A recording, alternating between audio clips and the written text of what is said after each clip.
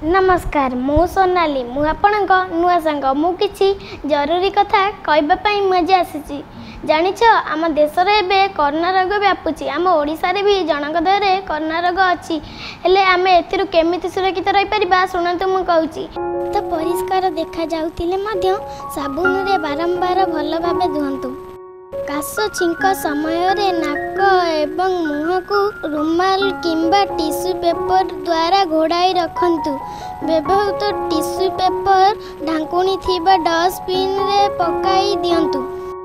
ଯଦି ଆପଣଙ୍କ ଜ୍ୱର କାଶ କିମ୍ବା ଶ୍ୱାସକ୍ରିୟାରେ କଷ୍ଟ ଅନୁଭବ କରନ୍ତି ତେବେ ଡାକ୍ତରଙ୍କ ସହ ପରାମର୍ଶ କରନ୍ତୁ। ଡାକ୍ତରଖାନା ଯିବା ସମୟରେ ମାସ୍କ ବ୍ୟବହାର କରନ୍ତୁ। ଯଦି ଆପଣଙ୍କର ଏହିଭଳି କିଛି ଲକ୍ଷଣ ଦେଖାଯାଏ ତୁରନ୍ତ ନିକଟସ୍ଥ ସ୍ୱାସ୍ଥ୍ୟ କେନ୍ଦ୍ର ସହ ପରାମର୍ଶ କରନ୍ତୁ। ଜନଗହଳି ସ୍ଥାନଠାରୁ ଉଁ, ଯଥା ସମ୍ଭବ ନିଜକୁ ଦୂରେଇ ରୁହନ୍ତୁ। ଯଦି ଆପଣଙ୍କର ଜ୍ୱର କାଶ କିମ୍ବା ଶ୍ୱାସକ୍ରିୟାରେ କଷ୍ଟ ଅନୁଭବ କରୁଥିବେ ତେବେ ଅନ୍ୟମାନଙ୍କ ସହ ମିଳାମିଶା କରନ୍ତୁ ନାହିଁ। ଆଖି ନାକ ଏବଂ ପାଟିକି ସ୍ପର୍ଶ କରନ୍ତୁ ନାହିଁ।